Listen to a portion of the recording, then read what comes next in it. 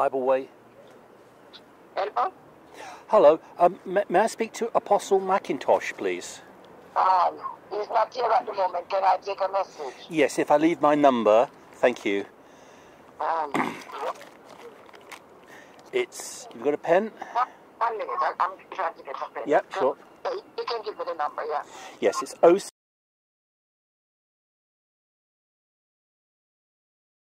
Looking at the church. Th- thank you very much. Um, what's the nature of the call? Well, I, I'm looking at the church, and I just want to know. I mean, Apostle McIntosh calls himself apostle. Do we have apostles today in, in the sense of the 12 apostles? I'm a bit puzzled about that. And I'm also puzzled about baptism and why you reject the Trinity. Why don't you pray about it, my love?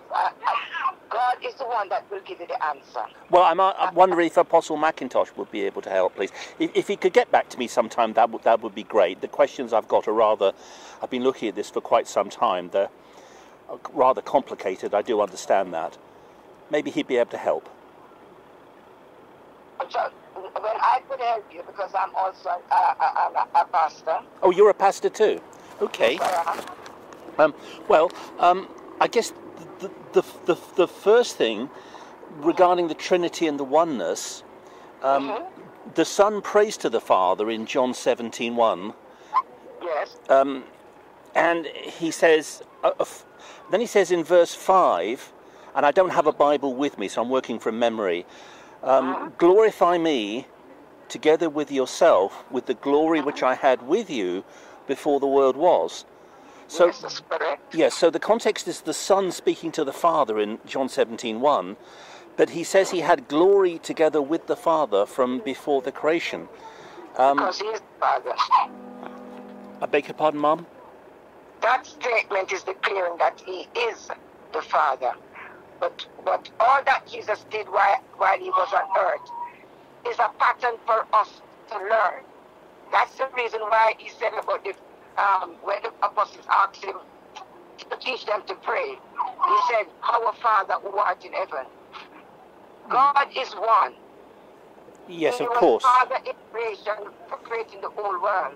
He is Son in, rede- in redemption, redeeming us from sin, from sin, from our first estate or estate.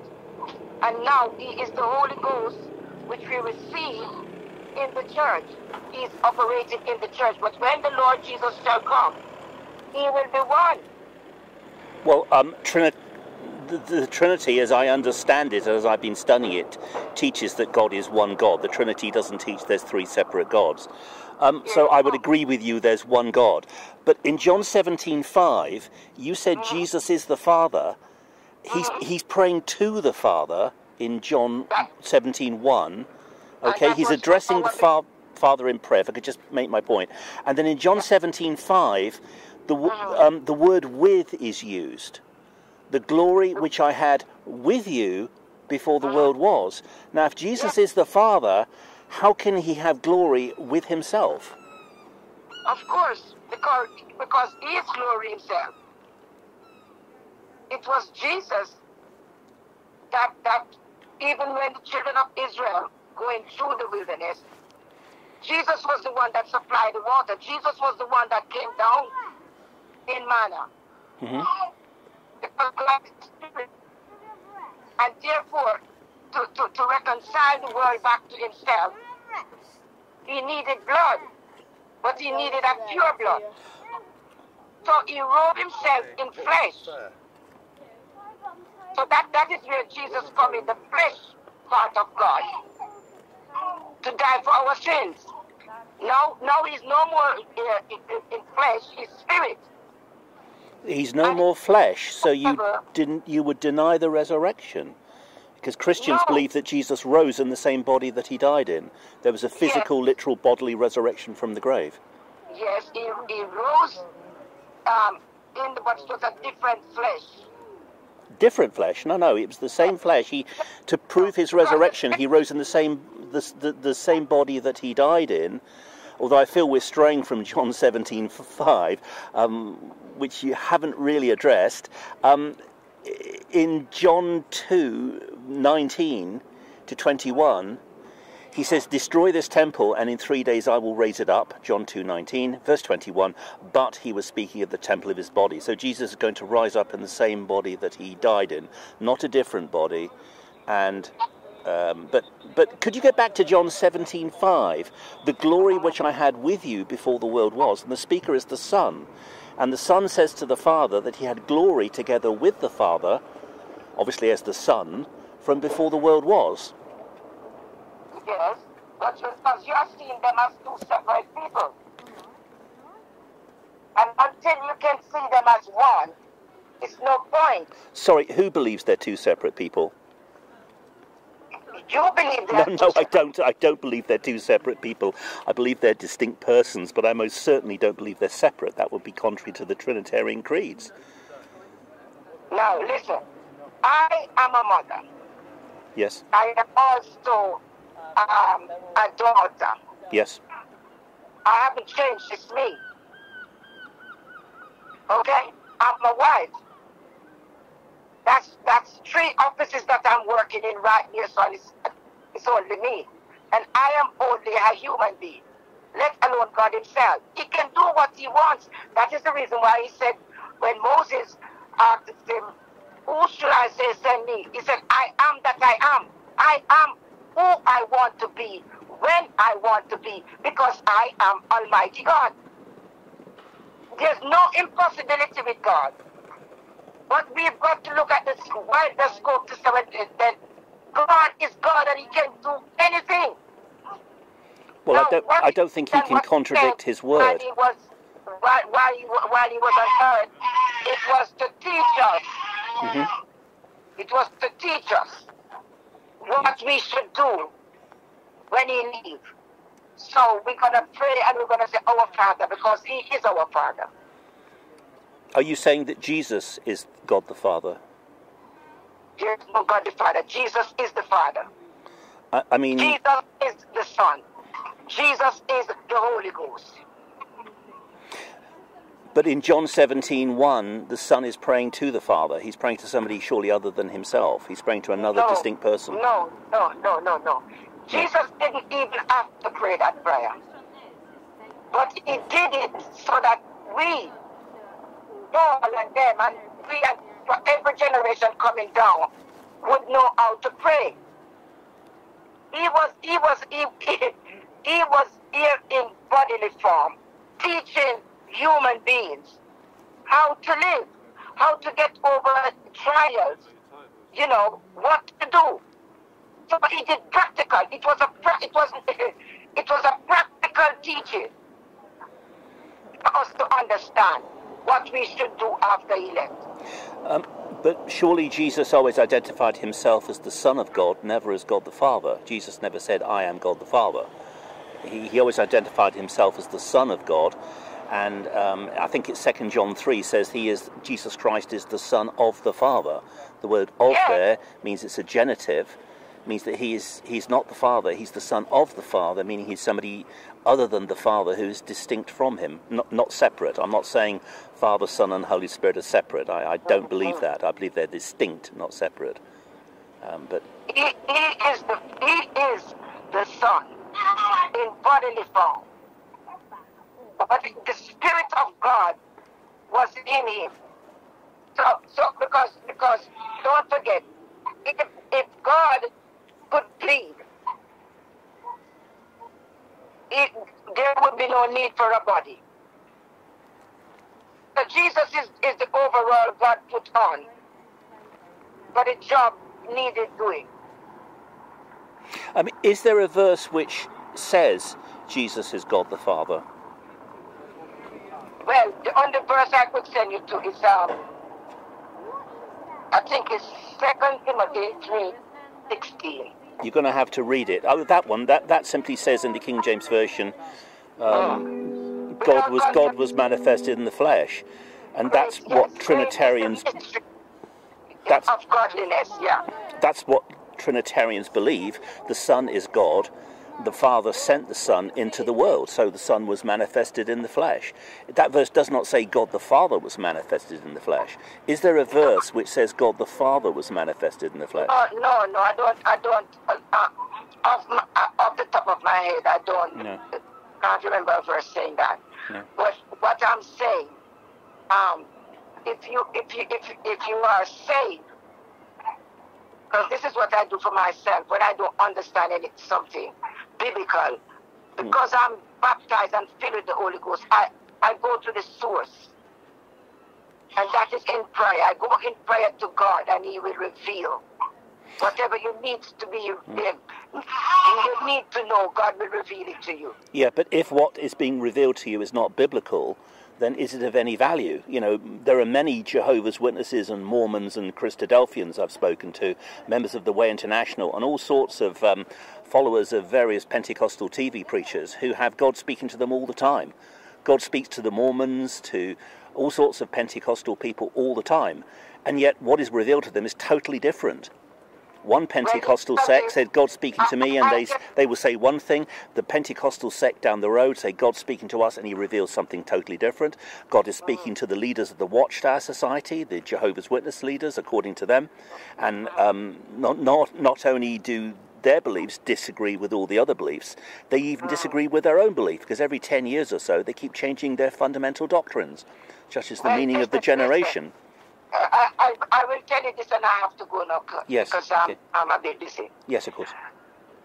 If, if, if anybody come to you and say, God revealed this to me, and it did not match up with Scripture, I'm sorry. They are a fraud. Right. So, so, so just to go, to, just to go back. Yeah, I, I, I get it. So, go to going back to John seventeen five. The glory which I had with you before the world was. There, the Yeah. Son says he existed together with the Father from before the creation of the world. But when I've Yes. spoken to Bible Way people, I don't know where your Bible Way church is based. Um, Apostle McIntosh's Bible Way church is based. You know where that is? It's in Hemel Hempstead. Sorry, Hemel in Hampstead. No, Hemel. Um, Did you hear that? no. What? Where is it based? Hemel Hempstead. H E M E L. Hempstead. Never heard of it. Okay. Okay. Is it in London or? No, it's not. It's, it's, it's not in. No. It's Hertfordshire. In, in Hertfordshire. Yeah. Okay. All right. Um, but in John 17:5, the Son says he had glory together with the Father from before the world was. So before the Yeah. creation, the Father existed together with the Son in eternity. Now, when I've spoken to and read the oneness literature and seen your videos on YouTube, you say the Son had a beginning. He came into existence at Bethlehem. There's no eternal Son. So how do you explain John 17:5? No, no, no, no. The flesh came into existence when Jesus was conceived. But listen, when when Mary, uh, when they when they knew Jesus for, for three days, they couldn't find him, and um, when they actually found him, and, and and his mother, you know, spoke to him, he said, "Woman." Don't you know I, I, I, I would be about my father's business? Now, he was not talking about Joseph. Now, uh, do, do you believe the Son of God is eternal, or do you believe the Son of God came into existence at Bethlehem? He is eternal. The Son of, the Son of God is eternal. Yes, the flesh came into existence. Right, so the Son, therefore, you believe as the Trinitarians do, that the Father, Son, and Holy Spirit existed in eternity from before the creation. God existed eternally as three persons Father, Son, and Holy Spirit. You, you've just agreed with the Trinity. No, God, God was in the beginning. Right, who is this God who's in the beginning? Is it the Father alone, or is it the Father, Son, and Holy Spirit? It, it is the Father. It is the Father alone. Right. So therefore, the Son is not eternal. You're saying the Son is No, not eternal. No, no, no. You listen to me now. God was in the beginning. And that's the Father, you say. Right. The Father alone. Yes, yes. And so he had he, he, had different um, offices that he needed to work in, but within during duration of time, because God worked within time at this moment. So when he needed, when Adam and Eve sinned, Yeah, there was, there was there was animal blood sacrifice, but he had a plan. Okay, there he planned to have um, sorry, there he planned to robe himself in flesh. Right, when did that happen? When did the Son come into existence in oneness theology? That's what I'm interested in. I, I don't need a, you know, uh, Genesis to Revelation Bible Bible explanation. When did the Oh, Son come into to give them existence? explanation because I've got none of my own. Yeah, when, I am not a fraud, so I will not tell you anything of my own. I will tell the Bible. right. Is this? You've said the Son, the Father existed alone, so you said the Son must therefore have come into existence at a point in time. I'm simply asking, when did the Son come into existence? At what point or at what time did the Son come into existence in your theology? The Son came into the, the, the, the man Jesus, the flesh. No, I'm asking about the Son. Do you believe the Son is the flesh? Or Yes, yes. Right. So when did the Son s- was the Son, second Son, because, you could not see the Father. right? So when when did the Son come into you see him existence? Right. So when did the Son come into existence? Read your Bible and then you will know. Because I've, I've been telling you that. Well, you you you, you really when- believe the Son when- came into existence at Bethlehem? Conceived, When God Himself, okay, went into Mary's womb and made the flesh for that, for the sacrifice that was needed for me and you and the world. That was when the flesh came into existence. And that's why I'm saying to you, in Jesus, God said, I am that I am. That was the name He gave to Moses. Got it. I've, I've, I I've got it. I honestly know that. be. I Yeah, I got it. I I've, I've honestly got it. But if the Son comes into existence in Mary's womb 2,000 years ago, flesh, right? yes. Right. Then how do you explain John 17:5, where the Son is speaking to the Father in John 17:1, and in John 17:5, the Son says to the Father, "And now, O Father, glorify me together with yourself, with the glory I had with you, with Yeah. right, which means alongside you in the Greek, before the world was." Because the Son here says he had existence together with the Father from before the creation. But you're saying in the Bible Way Church that the Son came into existence at, at his conception in Mary's womb 2,000 years ago. Listen, I have, I have explained it to you the best, uh, to the best of my knowledge. Um, you are looking for something that does not exist um, humanly. So What- what- what am I su- looking for? What I suggest you do. What am I looking for? have this conversation with God Himself. That's the that's the source. I am just giving you this advice now because I have to go. All right. Go and go and have this conversation with God Himself, Yes. and He will tell you what you need to know. That's a little. That's a little sarcastic, especially as you couldn't No, address anything that I've raised. But No, it's not. It's not because you're not understanding what I am saying. I, I understand it very well. You're a sub, you're a I have to- I have subordinationist. to go. You're a, I've got a baby looking after here, and you right. right. Thank you very much indeed. Thank you. Bye bye. Yes. Bye.